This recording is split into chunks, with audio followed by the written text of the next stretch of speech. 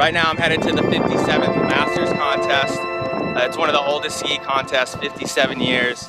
It's located on Pine Mountain Valley in Georgia. And uh, I'm headed to the pavilion right now. It's just a really unique place, really beautiful place. And uh, only the elite, only the best get invited, so it's an honor to be here. And uh, let me take you on the journey.